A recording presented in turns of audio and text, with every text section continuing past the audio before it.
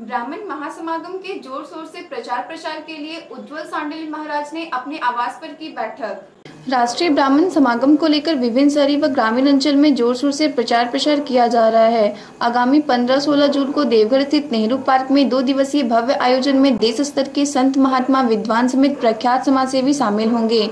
आयोजन समिति के महामंत्री कथावाचक उज्जवल सांडिल्य महाराज शेखपुरा मोहल्ला स्थित आवास पर क्षत्रिय ब्राह्मण समाज के वरिष्ठ पंडित बलदेव पांडे, मधुपुर अध्यक्ष अक्षय मिश्रा समेत कई लोगों के साथ बैठकर कार्यक्रम की रूपरेखा तैयार की। साथ ही गांव-गांव में सभी ब्राह्मणों को कार्यक्रम में शामिल होने के लिए आमंत्रित करने का आह्वान किया।